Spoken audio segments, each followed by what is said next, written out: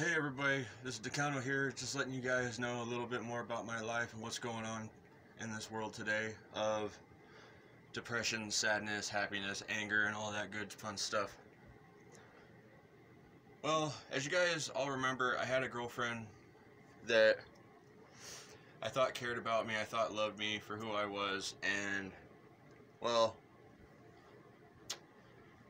we're no longer together. Um, and before I go any farther, I want you guys to know, I want you guys to leave a comment down below on how stupid I was for what I'm about to do, for what I'm about to say next. There was a woman I was talking to that lived in Maryland for six months. And everything was going great. And then I get a message from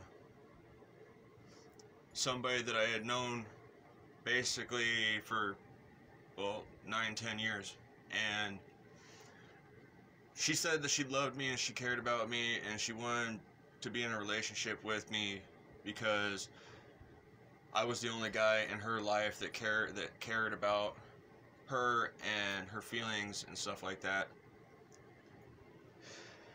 And so I told the other woman that I couldn't see her anymore because of well for the main fact that she was kind of like the other woman that I was talking to just wanting to be with me for my money. But at the same time she really did care about me. She did love me. Um, but I broke it off with that the woman from Maryland to be with the woman that knows or that I've known for years And, well, that relationship was good for four days, three days.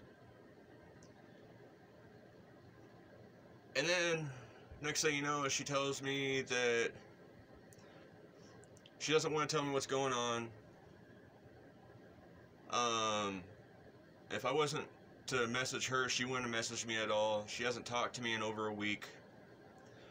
So as of yesterday, I left her a nice message stating that, hey, you know, I'm just going to give you your space.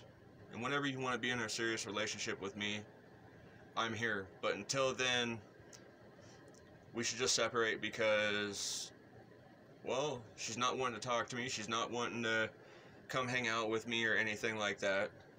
So, but that's a little bit of my life. If you guys want to, leave a comment down below on how stupid you think that is, or just let me know and what your guys' thoughts are on the whole situation on what I should what I should do.